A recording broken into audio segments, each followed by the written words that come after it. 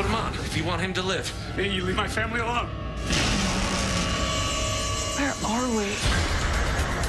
Pretty extreme to take an entire family. How's the game you playing? This isn't a game. This is a life.